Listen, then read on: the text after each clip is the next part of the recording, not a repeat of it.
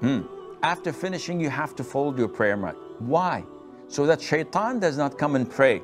Excuse me? Does shaitan pray? Oh, no, no, he was cursed by Allah Azza wa Jal till the day of judgment, but we don't want to give him a chance to repent and ask Allah for forgiveness. Subhanallah. What kind of thinking is this? Let him pray if he wants to pray. Sometimes when you leave the Quran open, the elders come and say, close the Quran.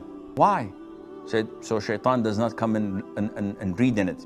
And you think shaitan would have the audacity to come and read or he's interested in reading?